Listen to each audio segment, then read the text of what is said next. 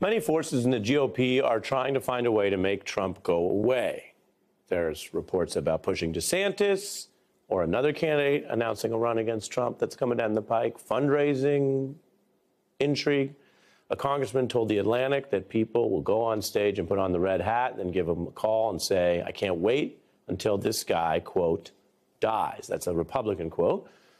But the RNC is still firmly in Trump friendly hands. They just reelected his chosen leader for the party, and now they're forming what they call an election integrity team that is basically another place to launder discredited lies for the loser of the last election. There will be officers that monitor elections and aggressive legal strategies, which is striking considering that Trump lost every single case that made a range of claims about being the loser of 2020.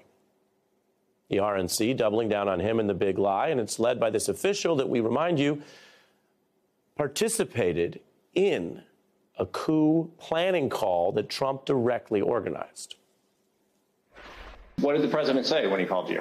Essentially, he turned the call over to Mr. Eastman, who then proceeded to talk about the importance of the RNC helping the campaign gather these contingent electors in case any of the legal challenges um, that were ongoing changed the result.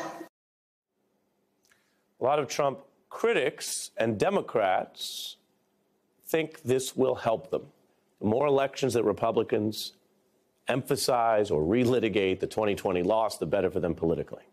But a lot of other legal and nonpartisan experts are sounding an alarm about the continued mainlining of these kind of people and this kind of set of lies to undermine our elections. You make up your own mind, as I say around here, but at the beat, we are concerned about door number two and these type of people pushing these kind of lies for this many years to millions of people who might yet believe them.